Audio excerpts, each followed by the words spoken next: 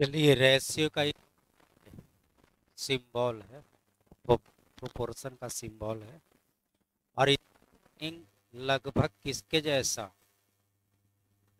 भाग के जैसा, लगभग अप्रोक्स में और इसका मीनिंग इक्वल टू जो दो रेशियो को इक्वल करता है, वही क्या कहलाता है? प्रोपोर्शन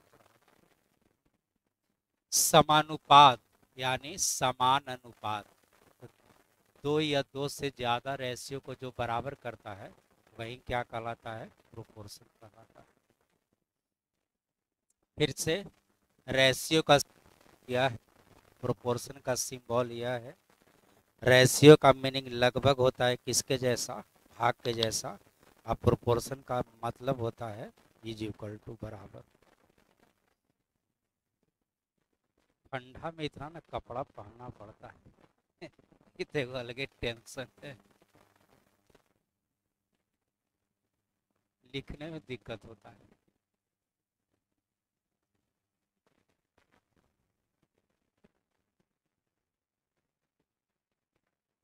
चलिए आगे पढ़ते हैं। तो हीटर लगवा लेते हैं ना।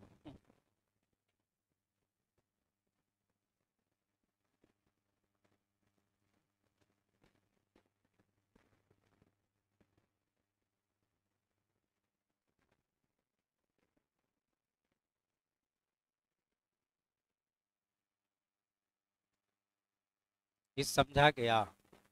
दो नंबर माने क्या क्या ए बराबर थर्टी बी बराबर फोर्टी। तो इसको ऐसे लिख सकते हैं कि अब बोलिए रेशियो का मतलब क्या बताए? इसको लिख सकते हैं।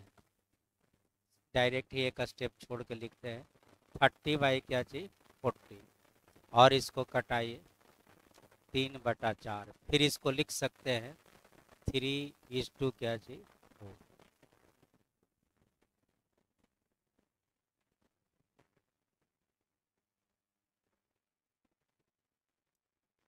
अब बताइए ए बराबर कितना माना गया था?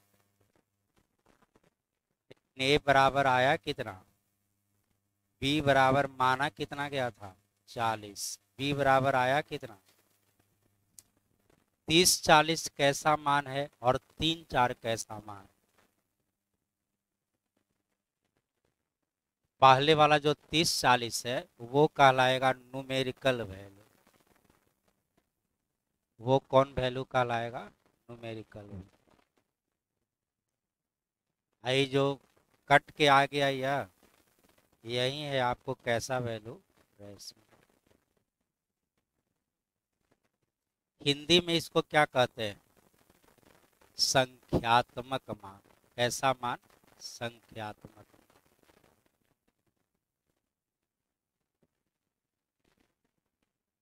और इसको अनुपातिक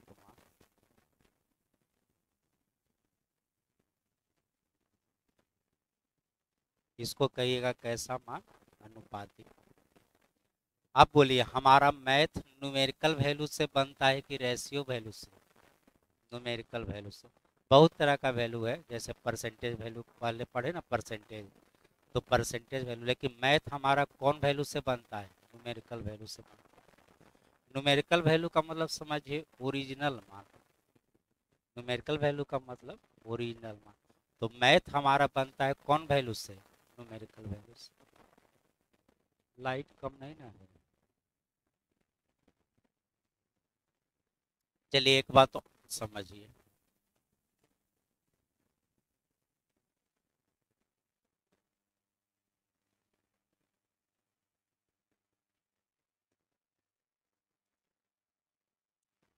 Important.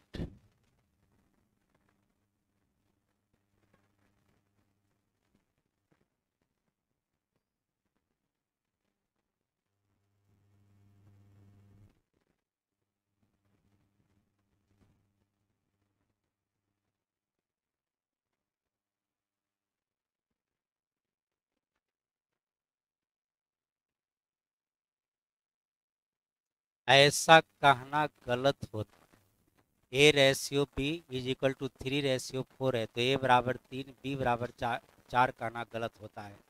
बोलिए, क्यों गलत होता है? क्योंकि कौन वैल्यू है? रेशियो वैल्यू तो इसको आप इक्वल टू में नहीं लिख सकते हैं।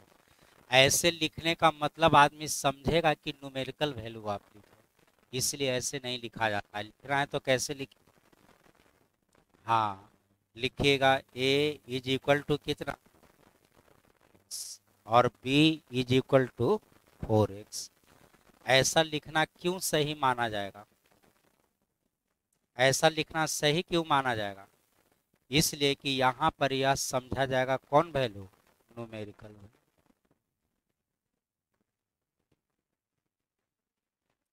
पहले भी पढ़े होइएगा शुरू से तो एक्स मान लेते थे ना तो एक्स काहे के लिए मानते हैं? न्यूमेरिकल वैल्यू में कन्वर्ट करने के लिए ऐसा माना जाता है। अब जैसे आपको लिखा हुआ है कि A ratio B is equal to two ratio three आप कोई कहे कि ए प्लस बी का मान बताइए कितना होगा? तो बोलिए ए प्लस बी का मान। एक्स कहाँ से आ गया? कुछ मान लीजिएगा। आप एक्स माने कोई वाई मानेगा तो, कोई जेड मानेगा तो, तो ए प्लस बी का मान कितना? तो ए प्लस बी का मान तय नहीं हो सकता है।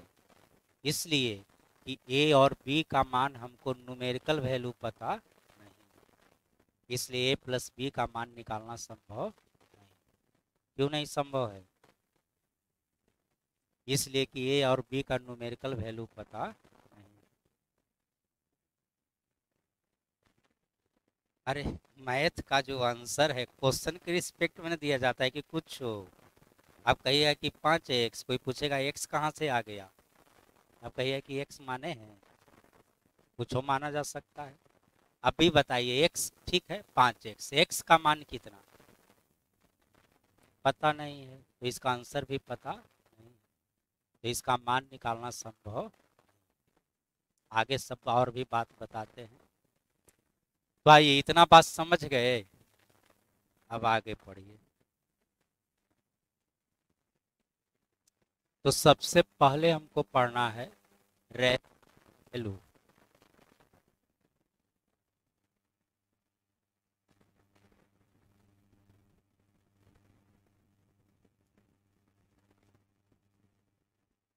इसमें सात स्ट्रक्चर याद रखना है। कितना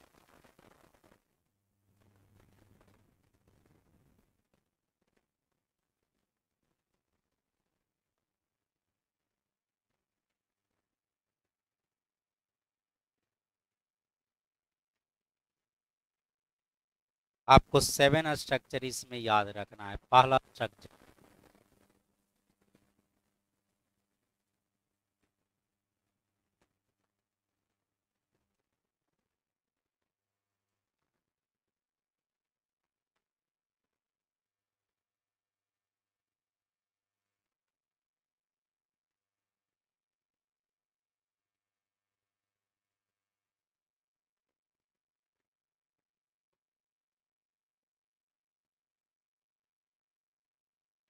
यह पाँच स्ट्रक्चर है, दो नंबर से रिलेटेड उसके बाद कोई छठा स्ट्रक्चर होता ही नहीं है। दो नंबर से रिलेटेड जब भी लिखा जाएगा तो यही पाँच तरह से लिखा जाएगा। तो मान लिया जाए कि कोई चीज़ ऐसे लिखा हुआ है तो ए का रेशियो वैल्यू बोलिए। बी का रेशियो वैल्यू थ्री ए का ratio value two B three अब ऐसे रहेगा तो ऊपर का मान नीचे होता है। ए का रेशियो वैल्यू टू, बी का रेशियो वैल्यू थ्री ऐसे है तो इधर का मान उधर होता है लेफ़्ट का राइट में राइट का लेफ़्ट में. तो ए का रेशियो वैल्यू टू और बी का रेशियो वैल्यू थ्री सब एक ही चीज़ है। इसी को क्रॉस गुना करेगा तो ऐसा नहीं आ जाएगा। चलिए इसमें बोलिए ए का मान कितना बी का कितना? ए का बोलिए। हाँ तो ए का दो और ऊपर का मान नीचे बी का तीन. तो पाँच स्ट्रक्चर है, दो नंबर से रिलेटेड अब दो नंबर से ज़्यादा रहेगा तो उसका जनरली दो स्ट्रक्चर ज़्यादा यूज़ होता है। एक आपको ऐसे यूज़ होगा।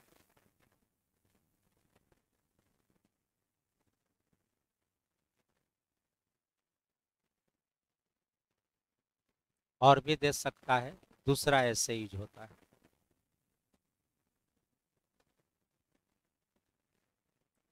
अब इसमें ए बी सी का मान निकालना है। इसमें चार है ना। ए बी सी डी का मान निकालना। इसमें आपको ए बी सी का मान निकालना है। और भी आगे हो सकता है। तो आइए शुरुआत करते हैं। तो छठा स्ट्रक्चर में ऊपर का मान नीचे होता है। ए का दो बी का तीन सी का चार डी का पाँच। तो ये डायरेक्ट लिखिएगा ऐसे फिर से याद रखिए। एक स्ट्रक्चर बटा में है ए बाई टू लेकिन ये क्या चीज़ है? टू ए दोनों दो तरह का स्ट्रक्चर है। दूसरा स्ट्रक्चर बहुत ज़्यादा इंपॉर्टेंट है। दूसरा में ऐसे निकालेगा जिसका मान निकालना है उसको छोड़ दीजिएगा, बाकी सबको गुना करिएगा। ए का निकालना है तो बोलिए किसको छोड़ देना है? दो को छोड़ देना है, बाकी सबको गुना करना है। तो बोलिए कितना? बारह। बी का बोलिए आठ। सी का बोलिए छ। और यहीं आपको आएगा क्या चीज़ में? रेशियो में दो से कट्टे वाला है तो कटा भी दीजिए। छ, चार, तीन। नहीं भी कटाइएगा तो आंसर में कोई फ़र्क नहीं पड़ता है। लेकिन रेशियो का मतलब है सिंपलेस्ट फॉर्म सिंपलेस्ट फॉर्म सबसे छोटा से छोटा।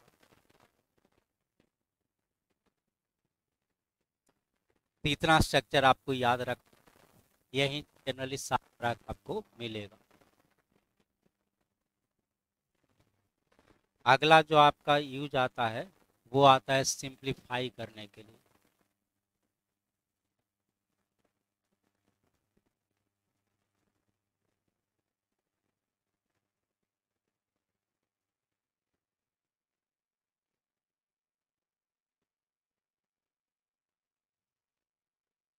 सिंप्लीफाई का हिंदी बोलिए, सरल करना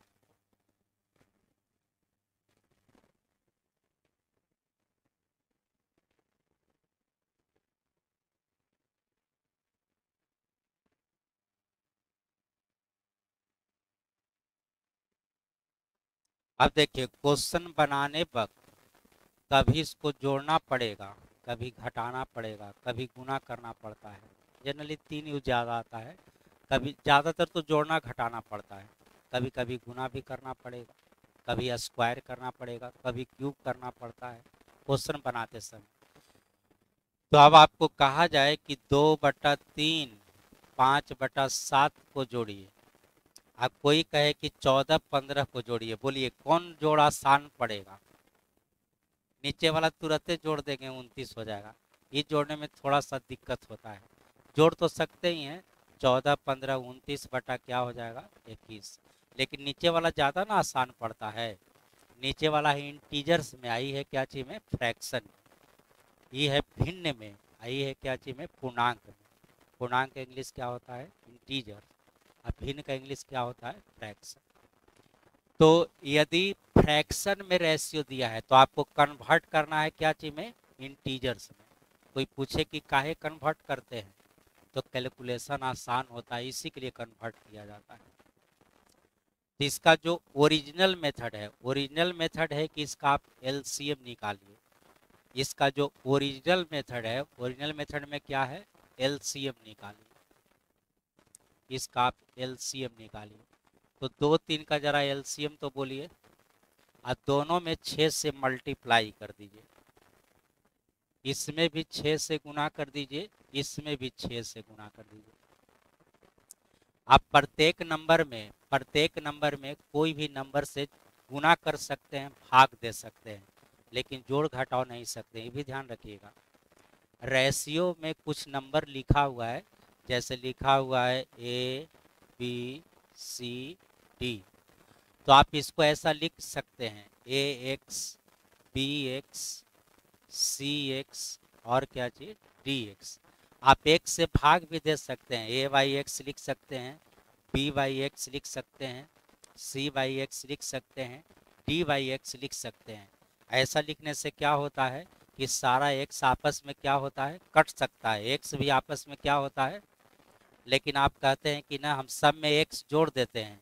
A plus X B plus X तो ऐसा लिखना क्या हो जाएगा? गलत हो जाएगा। तो रेशियो में आप कोई नंबर से गुना कर सकते हैं, भाग दे सकते हैं, लेकिन क्या नहीं कर सकते हैं? जोड़ या घटाव आप नहीं कर सकते इसका भी ध्यान रखिएगा। तो आइए। तो गुना किए, कितना कितना आ गया? तो ये कटेगा के बार तीन बार, यह कटेगा दो बार। इसका रेशियो हो गया थ्री इज़ टू टू तो क्वेश्चन बनाने वक्त या तो one by two one by three से बनाइए, नहीं तो थ्री इज़ टू टू से बनाइए। दोनों के आंसर में कोई डिफरेंस नहीं आता। यानी इसी को सिंप्लीफाई करने से क्या आ जाएगा? थ्री इज़ टू टू फिर से फ्रैक्शन में रेशियो कितना है?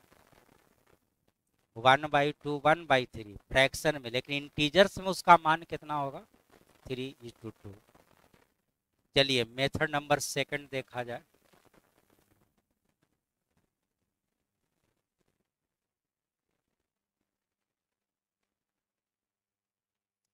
अब दूसरा मेथड देखिए। दूसरा मेथड का है कि इतना का ज़रूरत क्या है? सीधा क्रॉस गुना कर दीजिए।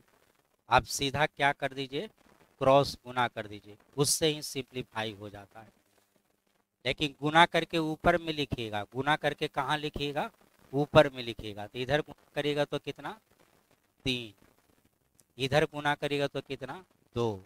और आंसर हो गया तीन अनुपात कितना? दो। तो एक मेथड है कि क्या करके? एलसीएम निकाल के।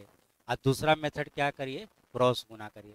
लेकिन क्रॉस गुना आप दो ही में कर सकते हैं। आप दो से ज़्यादा रहेगा तब फिर आपसे क्रॉस गुना नहीं होगा। तब आपको कैसे बनाना होगा? एलसीएम निकाल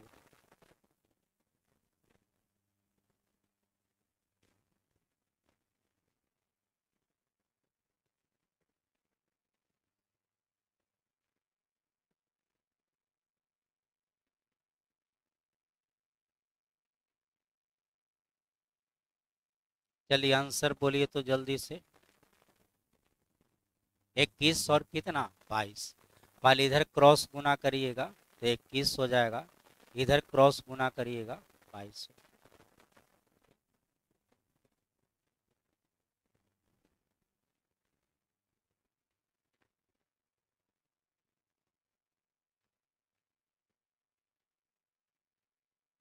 चलिए बताइए तो जल्दी से। तो पहले इधर गुना करिएगा, दस। इधर गुना करिएगा, तीन। इसका सिंप्लीफाई करेगा तो इंटीजर्स में इसका रेशियो हो जाएगा टेन इज़ टू कितना थ्री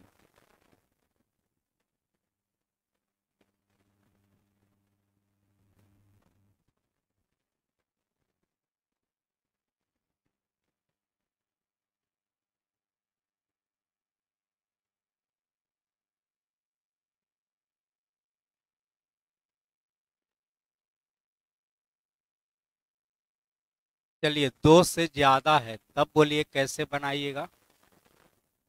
हाँ। तब कैसे बनाना है? एलसीएम निकाल के। तो तुरंत एलसीएम बोलिए, किसका किसका एलसीएम? डिनोमिनेटर का। डिनोमिनेटर मतलब हर का। तो डिनोमिनेटर में कितना कितना है? पाँच और दो। यहाँ नहीं कुछ है तो कितना है? वन है। एलसीएम कितना? सब में गुना करिएगा कितना से? दस। तो पहला का रिज़ल्ट बोलिए। बीस, दूसरा का छ, तीसरा का पाँच। और यही रेशियो हो गया आपको twenty is two six is two एक और मेथड भी यूज़ करते हैं। बना सकते हैं। एक और मेथड आपको बता रहे हैं। लेकिन आप जनरली ऐसे यूज़ करिएगा, ऐसे में भी कोई दिक्कत नहीं होता है। इसको दो को समझिए, दो बटा कितना? एक।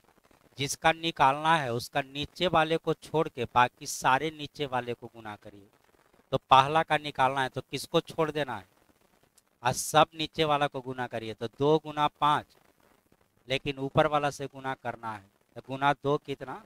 बीस। चलिए, बी का निकालना है तो किसको छोड़ देना है? पाँच को। तो एक गुना दो बोलिए, लेकिन तीन से गुना करिएगा छ फिर दो को छोड़िए तो एक गुना पाँच बोलिए, पाँच एक से और गुना होगा। एक ऐसे भी निकाल सकते हैं। लेकिन इसमें भी कोई दिक्कत नहीं है क्योंकि ये बात लिखना नहीं पड़ता है। बताने के क्रम में लिख रहे हैं, लेकिन डायरेक्ट हम समझ गए कि दोनों का एलसीएम कितना। इसमें दस से गुना करिएगा बीस, इसमें दस से गुना करिएगा तो कट के आ जाएगा छः इसमें दस से गुना करिएगा तो कितना?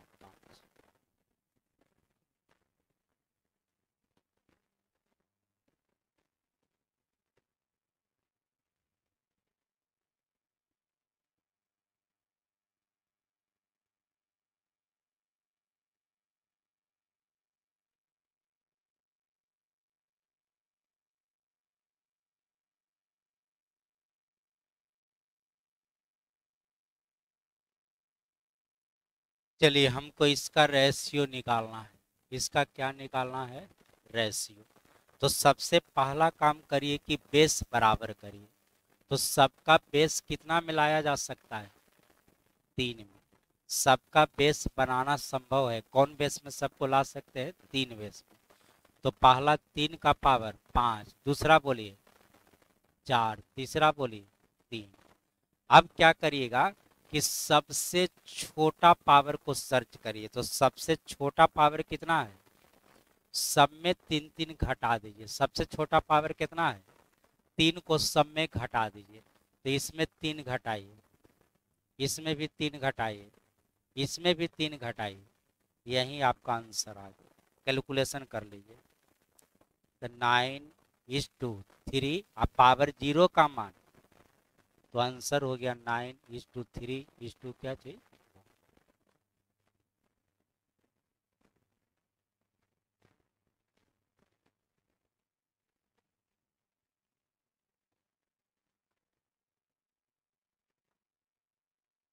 चलिए आंसर बोलिए तो कितना हो जाएगा? कॉपी कलम निकालिए, कैलकुलेट करके फाइनल आंसर बोलिए, फाइनल आंसर।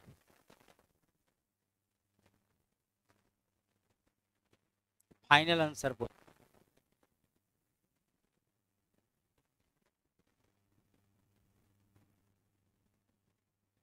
चलिए, सही है। और कोई लोग बताइए? तो सबसे पहले आपको क्या करना होगा? बेस बराबर करना होगा। तो यहाँ दो है तो यहाँ भी क्या लेना होगा? दो। तो ये दो का पावर दो। दो से इसमें गुना करिए। साढ़े तीन गुना दो कितना? सात। आई दो का पावर कितना? पाँच। कितना पावर दोनों में घटा देना है?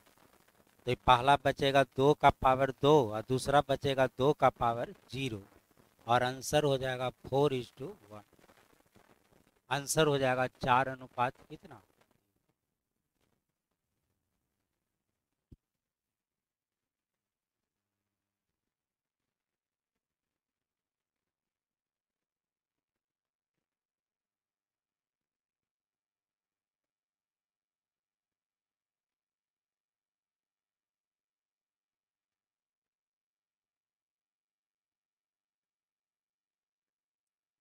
चलिए इसका हमको कैलकुलेशन करना है। डेसिमल को हटाना है। तो देखिए, यदि क्वेश्चन डेसिमल में है तो पूरे में देख लीजिए, डेसिमल के बाद अधिकतम कितना अंक दो पहला में डेसिमल के बाद एक अंक है इसमें। तो ये दोनों को ज़ीरो दे के पहले बराबर कर लीजिए तो डेसिमल के बाद दो अंक डेसिमल के बाद दो अंक। अब डेसिमल ही हटा दीजिए। अब आप डेसिमल को हटा सकते हैं। तो पहला तरफ़ क्या बचेगा? सत्तर। और दूसरा तरफ़? अब इसी का रेशियो निकालिए।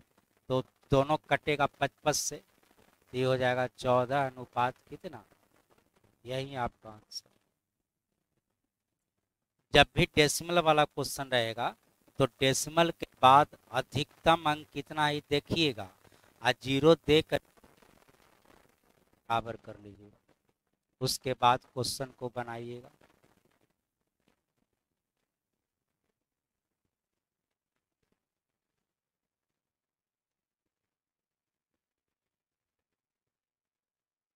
चलिए ऐसा ही लिख रहे हैं। हमको हमको इसका कैलकुलेशन करना है। तो बोलिए डेसिमल के बाद अधिकतम कितना अंक है? तो सब में आपको बना लेना होगा कितना अंक? दो तो इस पर के को ज़ीरो इसमें डेसिमल दे के के को ज़ीरो दो गो तो डेसिमल के बाद दो अंक डेसिमल के बाद दो अंक, और डेसिमल के बाद दो अंक। अब क्या करना है? डेसिमल ही हटा देना है। तो डेसिमल हटाइएगा तो पहला तरफ़ पच्चीस, दूसरा तरफ़ पचास, तीसरा नंबर पाँच सौ। और इसी का अब आपको फ्रेश रेशियो निकाल लेना तो बोलिए, सारा नंबर कितना से कटेगा? पच्चीस से तो यह हो जाएगा एक, अनुपात दो, अनुपात कितना? बीस।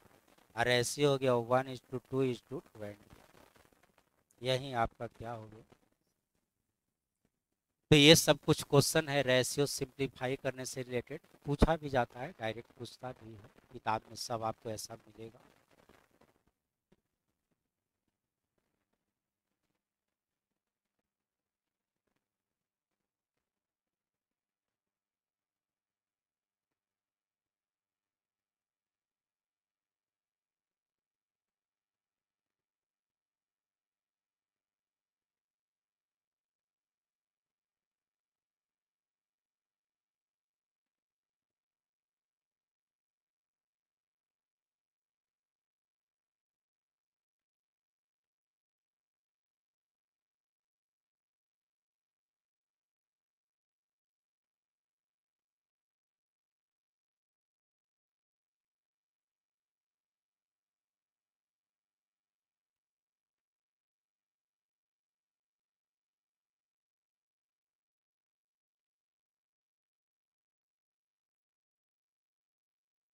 चलिए, दोनों दो बात है कि दोनों एक ही बात है? दोनों एक ही बात है? ऐसे भी लिख सकता है, ऐसे भी लिख सकता है। अब आपको जैसे कि ए प्लस बी का मान बताइए। तो बोलिए ए प्लस बी का मान कितना? ए प्लस बी का मान। तो तय नहीं होगा, तय नहीं होगा। क्यों नहीं तय होगा? हाँ तो ये बोलिए A plus B numerical value की बात कर रहा है कि रेशियो वैल्यू का? तो न्यूमेरिकल वैल्यू हमको पता नहीं। रेशियो से रेशियो निकाल सकते हैं, लेकिन रेशियो से न्यूमेरिकल नहीं निकाल सकते। याद रहेगा रेशियो से क्या निकाल सकते हैं? रेशियो न्यूमेरिकल वैल्यू निकालना संभव अब जैसे मान ले कि कभी काल आप बनाइए दीजिएगा ऐसे, जैसे आप पिछला बार बोले कि माना कि ए बराबर टू एक्स बी बराबर थ्री एक्स तो ए प्लस बी का मान कितना? फाइव एक्स अब आपको एक्स का मान पता है, इसलिए इसका मान भी पता नहीं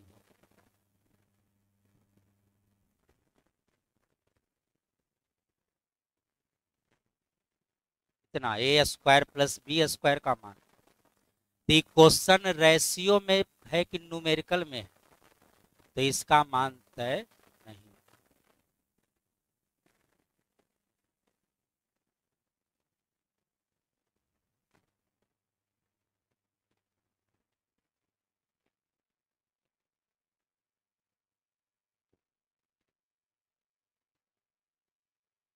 बोलिए, क्वेश्चन का आंसर हमको रेशियो में देना है कि न्यूमेरिकल में देना है?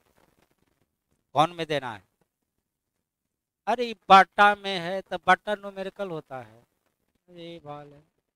ये दिखाई नहीं दे रहा है, ये क्या है? तो बटा का मतलब भाग भाग का मतलब रेशियो तो ये निकलेगा कि नहीं? ये निकलेगा रेशियो से रेशियो निकलेगा। ए, बटा बी बराबर। तो ये दो तीन, ए का मान दो, बी का मान तीन। न्यूमेरिकल है कि रेशियो है? रेशियो है। अरे, कोई चीज़ बटा में है तो क्या चीज़ में है? रेशियो में। अब बटा में ना रहता तब तब न्यूमेरिकल है। तो बोले, इसका मान निकलेगा कि नहीं? निकलेगा। क्यों निकलेगा? क्योंकि रेशियो निकाल तो रेशियो से रेशियो निकल सकता है, लेकिन रेशियो से क्या नहीं निकलेगा? न्यूमेरिकल नहीं निकलेगा। तो आइए तब इसमें हम निकाल सकते हैं। आप एक से मान के बनाइए।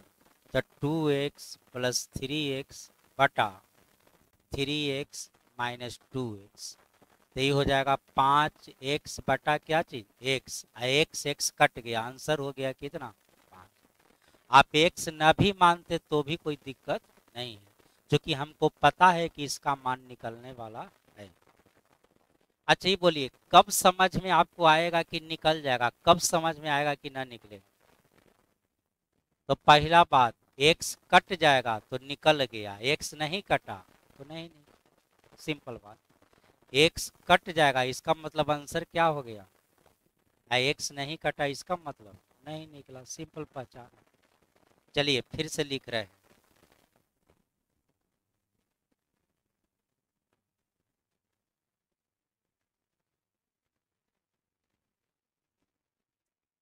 बोलिए, इसका मान निकलेगा कि न निकलेगा? बोलिए।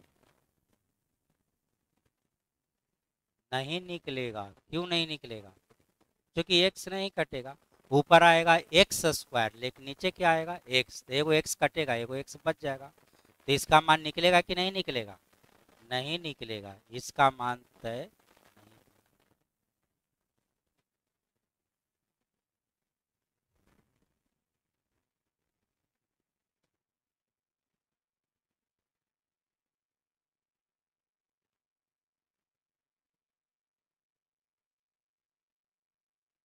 बोले, इसका मान निकलेगा कि न निकलेगा?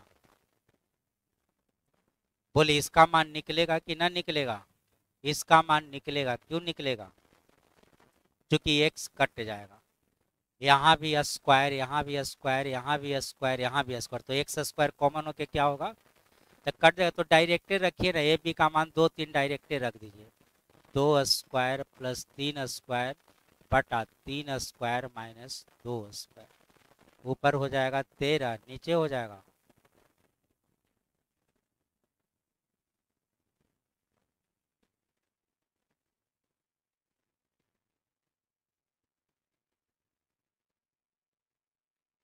बोलिए इसका मान निकलेगा कि न निकलेगा? बोलिए निकलेगा कि नहीं? तो यहाँ भी एक्स आएगा स्क्वायर में, यहाँ भी स्क्वायर में, यहाँ भी स्क्वायर में यहाँ स्क्वायर में आएगा कि नहीं? आएगा क्योंकि two x into three x six x square तो इसका मान निकलेगा कि नहीं? निकल जाएगा। तो निकल जाएगा तो डायरेक्टे रख दीजिए। तो ये हो गया दो स्क्वायर प्लस थ्री स्क्वायर बटा टू इंटू थ्री माइनस क्या चाहिए थ्री स्क्वायर तो ऊपर हो जाएगा तेरह। और छः में से नौ घटाएगा तो कितना? माइनस तीन। तो रिज़ल्ट माइनस में आ जाएगा। माइनस तेरह बटा कितना? तीन नीचे माइनस में ना आएगा।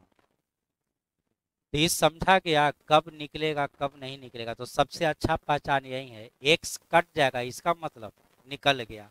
एक्स नहीं कटेगा, इसका मतलब नहीं। कितना टाइम हो गया? दस मिनट अभी टाइम है। अब पढ़ना है रेशियो कंबाइंड करना। दो या दो से ज़्यादा रेशियो को मिलाना।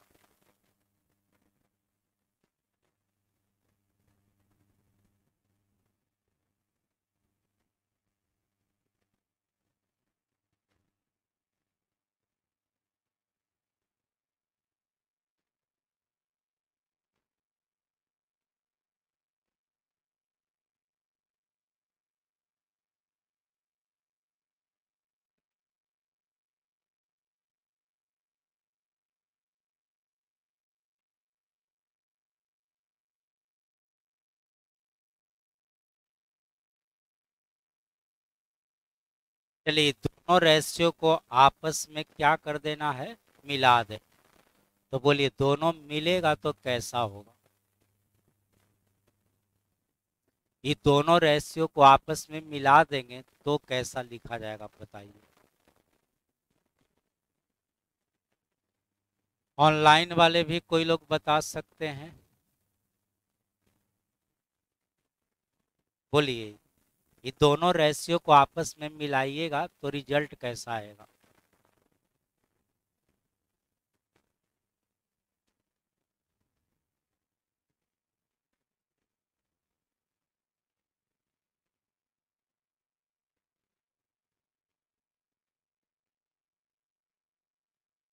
तो ये दोनों आपस में कंबाइंड नहीं हो सकता है।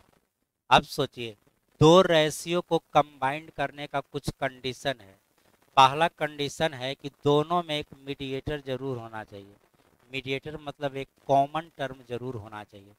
टर्म का ये आपका नंबर है इसको टर्म कर रहे हैं। ऐसे टर्म है ए बी सी डी तो ऊपर नीचे में कुछ कॉमन है तो जब तक कॉमन नहीं रहेगा, तब तक दोनों आपस में नहीं मिलेगा। तो इसका आंसर निकालना संभव नहीं इसका आंसर तय नहीं होगा दूसरी बात अब मान लीजिए कि क्वेश्चन ऐसे लिखते हैं।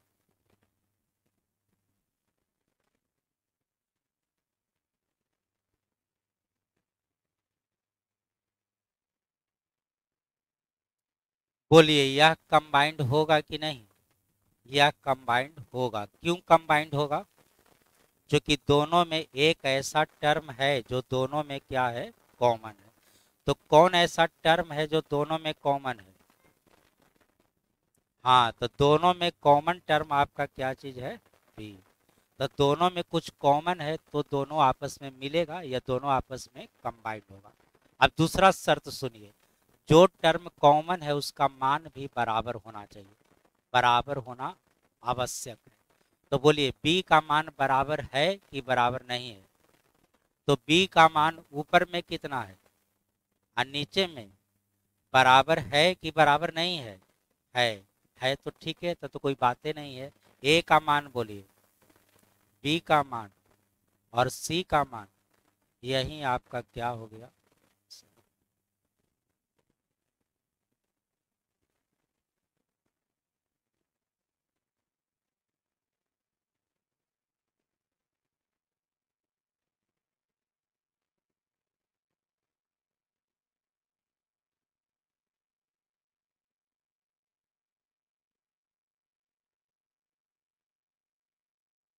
चलिए फिर से।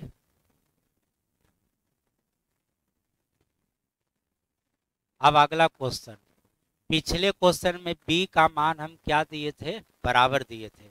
लेकिन इसमें बराबर है? नहीं है। तो फिर से, दो रेशियो को यदि कंबाइंड करना है तो सबसे पहला कंडीशन क्या है? यह बताइए। दो रेशियो को आपस में मिलाना है तो सबसे पहला कंडीशन क्या है? दोनों में कॉमन टर्म होना चाहिए। तो दोनों में कॉमन टर्म क्या है? बी दूसरा शर्त क्या है? बी का मान क्या होना चाहिए? बराबर होना चाहिए। तो बराबर है कि नहीं है तो उसको बराबर करना पड़ता है। बराबर नहीं है तो उसको बराबर क्या करना करना पड़ता है। तो आइए पिछला चैप्टर कौन चैप्टर पढ़े थे? प्रॉफिट लॉस पढ़े थे। तो आपको याद है कि प्रॉफिट लॉस में एक टाइप पढ़ते थे जिसमें वस्तु की संख्या बराबर करते थे। तो बोलिए, वस्तु की संख्या जैसे तीन चार को बराबर कैसे करिएगा? तो ऊपर में गुना कर दीजिएगा चार से या नीचे में तीन से। तो दोनों कितना कितना हो जाएगा? बस यहाँ भी उसी तरह से बराबर करना है। तो बोलिए, ऊपर में गुना करिएगा कितना से? नीचे वाले बी के मान से ऊपर में, ऊपर वाले बी के मान से नीचे में। तो ऊपर में बोलिए कितना से गुना करिएगा? चार से। और नीचे में तीन से। अब गुना करके अब लिख के देखिए तो दोनों आपको बराबर मिल जाएगा। तो पहला में बोलिए कितना मिला? आठ और कितना? बारह। दूसरा में क्या मिला? बारह और पंद्रह। तो बी का मान दोनों जगह बराबर हो गया। तो अब आप इसका मान लिख सकते हैं। कितना कितना लिख सकते हैं? ए का आठ बी का दोनों ही जगह पर बारह और सी का मान कितना? इस तरह से तो दो रेशियो को कंबाइंड करना है तो दो कंडीशन एकदम ज़रूरी है। पहला कंडीशन है कि एक कॉमन टर्म होना चाहिए और दूसरा कंडीशन है कि जो टर्म कॉमन है, उसका मान दोनों ही प्लेस पर क्या होना चाहिए? बराबर होना चाहिए। चलिए, अगला बात।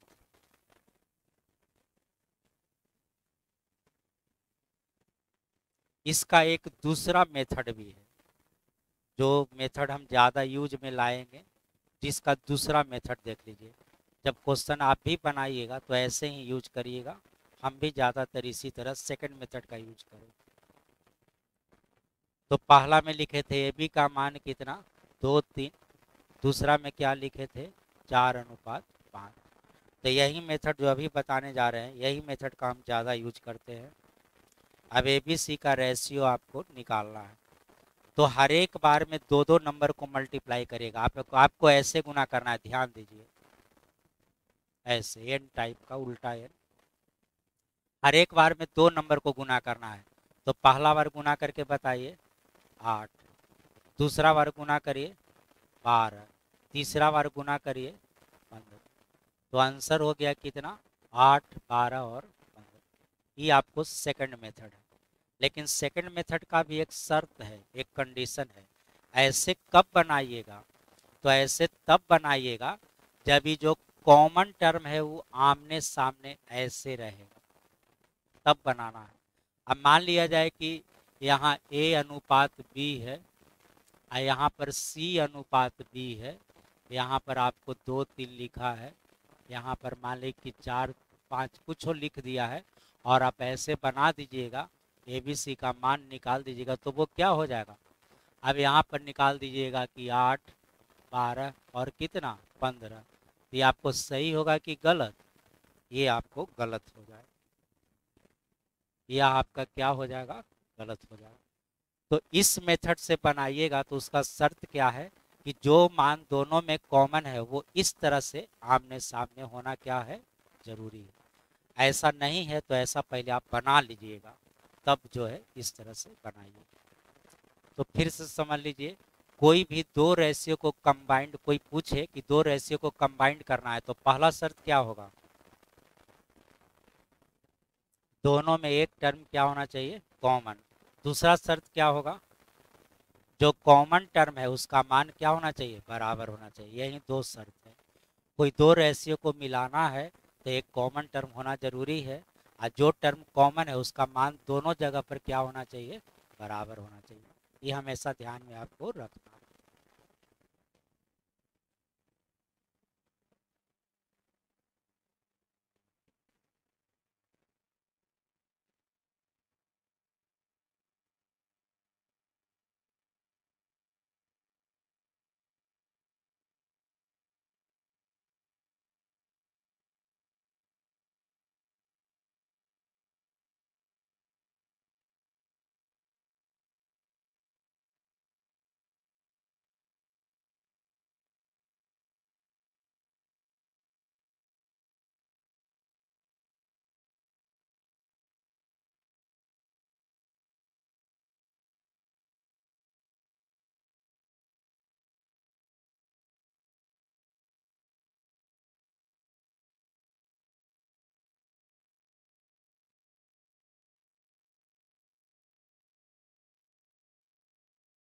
कोई कहे कि सबको कंबाइंड कर दीजिए, सबको क्या कर दीजिए? कंबाइंड कर दीजिए।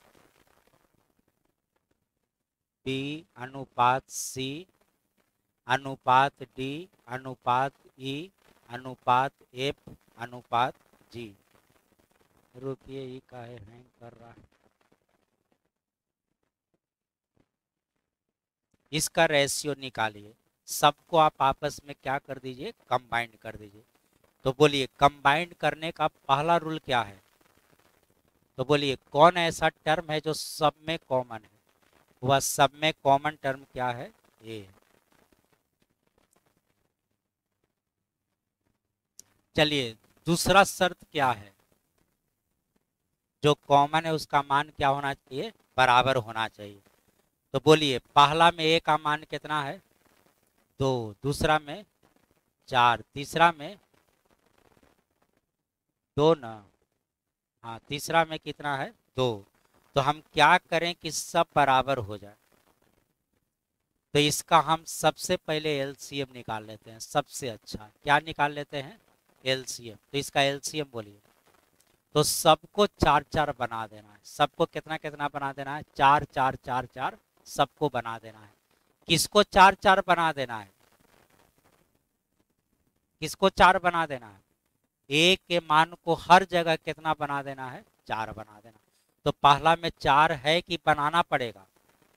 बनाना पड़ेगा। तो उसके लिए मल्टीप्लाई कितना से करना पड़ेगा? दो से। उसके लिए मल्टीप्लाई कितना से करना पड़ेगा? दो से। चलिए, पहला में दो से गुना कर दिए। तो गुना करके लिखिए देते हैं। ये हो गया चार, छ, आठ। बोलिए, दूसरा में कितना से गुना करना पड़ेगा? दूसरा में गुना करने की ज़रूरत नहीं है क्योंकि ए का मान चार है। बोलिए, तीसरा में गुना करना पड़ेगा। कितना से गुना करना पड़ेगा? दो से। तो ये हो जाएगा कितना? छ दो, चार। अब आप सबका मान लिख सकते हैं। तो बोलिए ए का मान कितना? चार। बी का खोजिए। बी का कितना? क्या दिखाई दे रहा है। चलिए सी का बोलिए। चलिए डी का बोलिए। डी का बोलिए।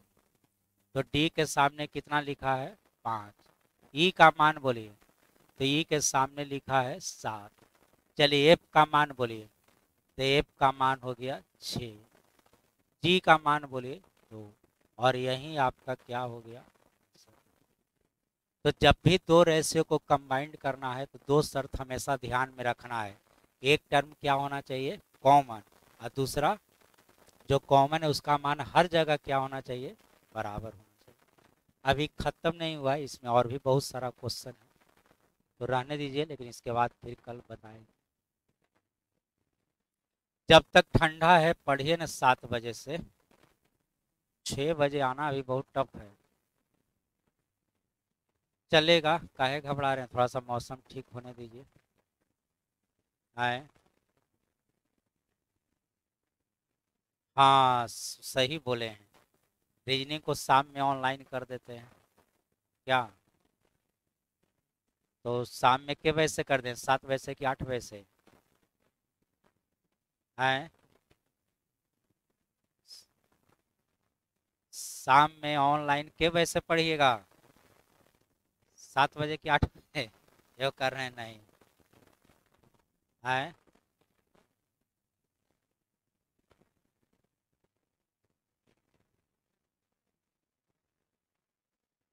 चलिए सात बजे से रहेगा जिनको तो ऑनलाइन में क्या दिक्कत है? जब मन तब पढ़ लीजिएगा।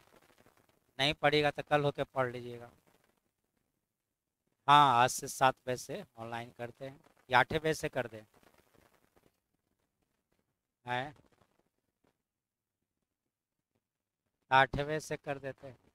अच्छा सात बजे, आठ बजे से ऑनलाइन आज चलेगा। रीजनिंग, जहाँ तक पढ़े हैं, उसके आगे से चलेगा। मतलब जहाँ तक इसमें पढ़ाए हैं, उसके आगे से। तो ठीक है, आगे क्लॉक चलेगा। तो आज से चलेगा ऑनलाइन